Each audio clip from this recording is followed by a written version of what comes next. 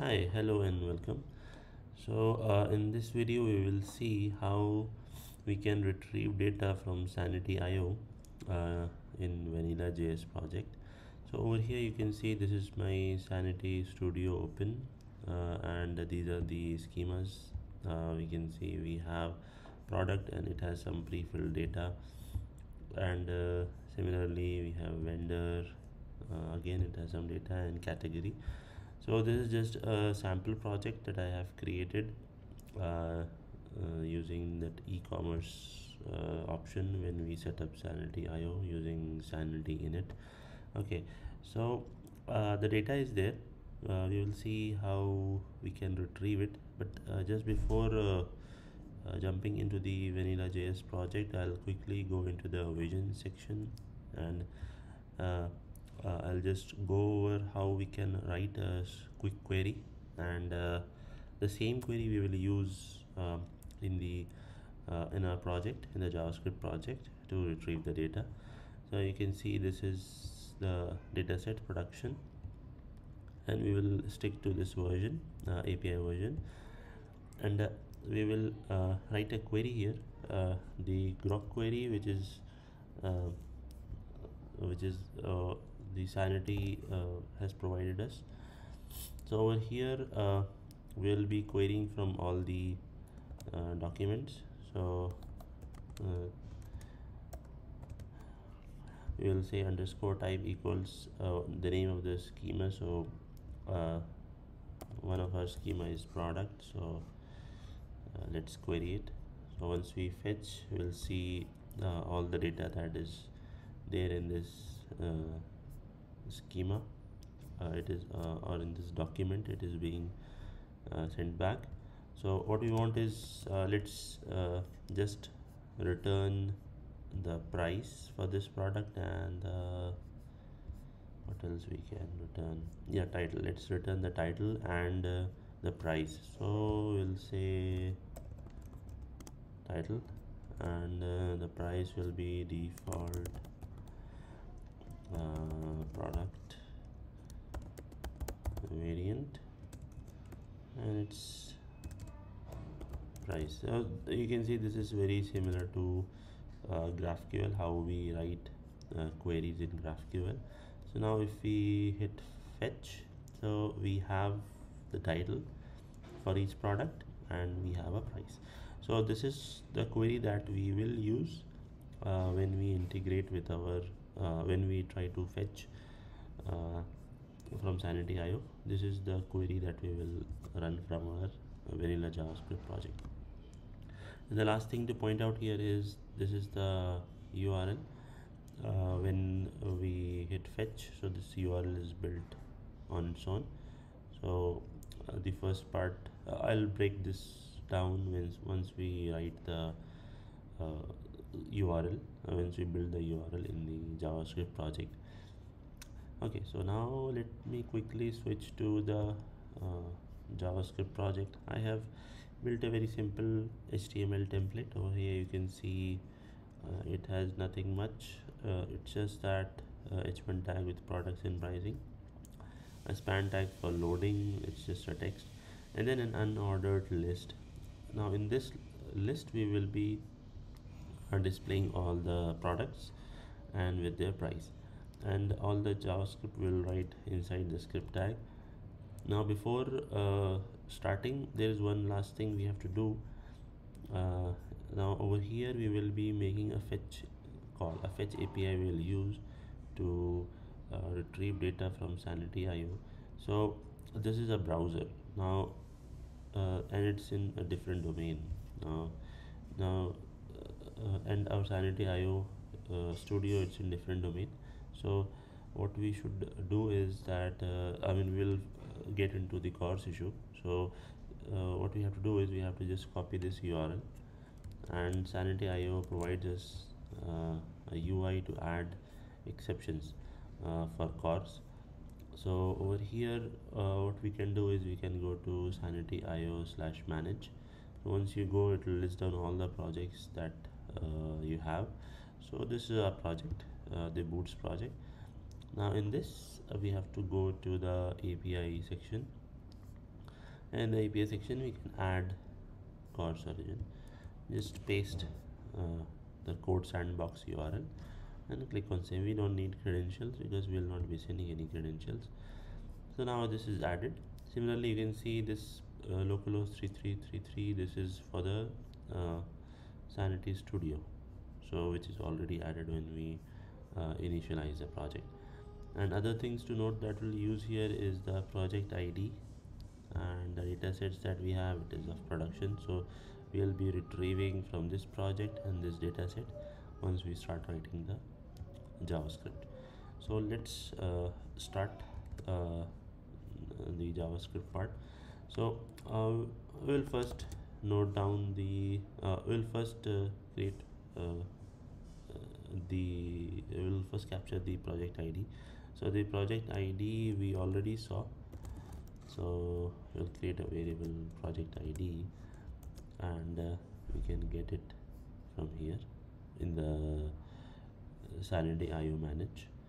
So we'll just go and paste. So this is uh, project id uh, next is uh, uh, the data set name. So uh, we just saw the if we go to the manager. So in the data sets we have only production. So we'll it, it depends. If you have multiple data sets whichever data set uh, you want you have to write the name. So uh, we have only one. So this is production. Uh, next is uh, the query. What kind of uh, query whatever we'll write here will go as a query parameter in the get url uh, in the url uh, be it get or post whatever you're using. So over here we'll be using get. So so we'll just write the query. And the query is something that we just wrote in the vision tab. So we'll be using exactly same query. Uh, yeah. So over here uh, I'll just paste it. So uh, we can uh, we can use this uh, like directly we can keep it uh, as a string and we can but uh, in order for the server to interpret it correctly we should never uh, really send a raw query like this as a query parameter. We should always wrap it around the encode URI component so in this way what uh, this will do is uh, is it will uh, convert all the special characters or spaces into UTF string so which will be very easily understandable on the server side and it will not create any you know, give any unexpected or results or errors. So fine. So we have uh, everything that we want. The only thing is now we want to build the url uh, the url that we will be calling uh, to fetch the data. So one easy way to do it is just go to uh, sanity studio. And then if you have uh, this URL over here you can just copy it and you can just paste it. Now over here we have to replace you can see this is a project ID so we'll just uh, replace this with the project ID okay. Uh, next over here if you come back it is API sanity IO this is the same version data query. Now this production. Production is basically the dataset name. So we'll come here and we will replace this. Okay. Next is the query the query parameter. So uh, the query parameter is this that will be passing query. Okay. Okay. So our url is uh, ready. Next what we will do is uh, we will make a fetch api call and uh, uh then we'll try to uh, list the products with their price on the uh, on the html on the front end. So so we'll start with the fetch and it will be the url and I'll be using chaining as fetch returns a promise so uh, then uh, we have a response so we have to parse it. So response dot uh, json. Now this is again a promise so we'll chain it again. Then we have the uh, actually whenever we query it returns a result. So we'll destructure result so that we get an array. So that's what we'll do. Uh, here we have result. Okay. Now uh, the result is uh, an array. So we will go through it one uh, we'll iterate it. But before that we'll just remove this uh, loading. Uh, over here you can see it's a span tag with id of loading. So we'll just uh, remove it. So let loading equal to now element element by id and uh, we already saw the id is loading. Next we want to remove it. So we'll just uh, do loading and uh, parent node dot uh, remove child loading. So over here what we are doing is we have uh, we have access to loading uh, element. So we are going to its parent node and from the parent node we are removing the child which is again the loading itself. So this will remove it. Once we have a result in that case it will remove it. And uh, then um, now uh, let's uh, get hold of this unordered list. We'll capture this element. We'll catch this element. So it's uh, uh, products. It is uh, document that dot uh, query selector. And uh, because on our in our page we have only one UL on unordered list so we'll just go with this. Okay so next is we have to uh, iterate through the result array. So if uh, result dot length is greater than 0 so in that case we will uh, go through each yeah each item in the result. Let's say that uh, because it's the products that are being uh, returned back so we'll just say product we'll just name it product. Okay so uh, yeah so for each product uh, we are iterating through each product. And we need to put every product in, in a list item. So we'll name we'll create a list item. We'll name it item. And we'll create a list item at runtime with the document dot create element. And the element has to be li element because it's a list item. Now this item uh, needs to have a text content. Uh, what we want uh, the text of this item to be. So we'll just name it text uh, I mean we'll just update the text content. Now uh, what we are returning is a title and a price. So over here you can see uh, we have title directly accessible but for price we have to go inside the default product variant and then price. So uh, let's do it. We'll first print uh, the title. So it is because the product uh, once again yeah. So this this is the product. Yeah this is the product. So product uh, dot sorry title okay and uh, we'll just create a small just kind of a spacing to display the uh, price. So we'll first display the title and then we need to display the price. So over here it is product sorry product dot yeah default variant dot price. Now uh, this price over here we can see it does not have any currency uh, no currency is being displayed. So we'll just uh, maybe we can just display a dollar sign at the beginning. Yeah so this dollar is just a string.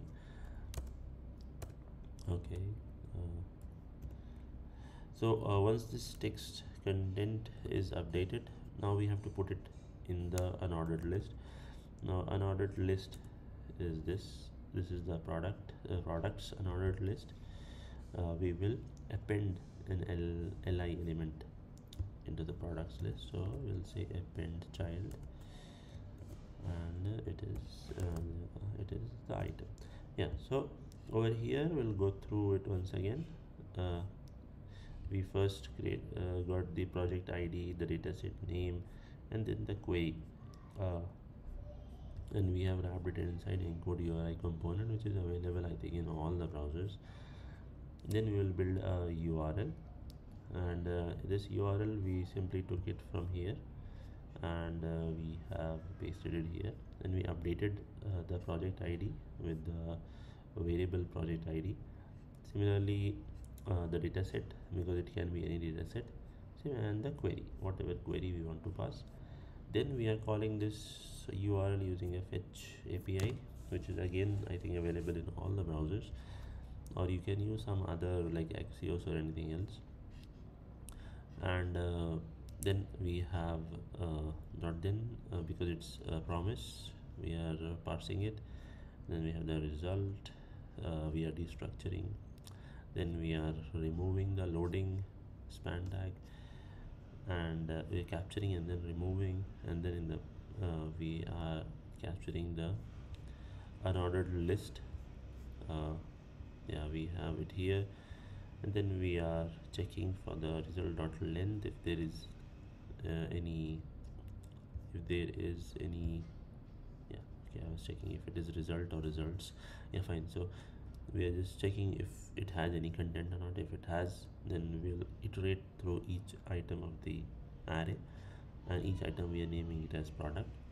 And because every product that we are returning has a title and a price so we are at on at runtime we are creating an li element and we are updating the content with the title and the price. And then we are just appending the li element into the products unordered list. So now if i uh, just save it and if i just uh, refresh the page yeah so over here we can see we have uh, the products and we have the price. So looks like it is working. So yeah so i think we are good. Uh, we have kitkat wasabi so all the products have been displayed. So uh, thank you very much for watching. And uh, if you have any questions or anything you can please put it in the comment section. Thank you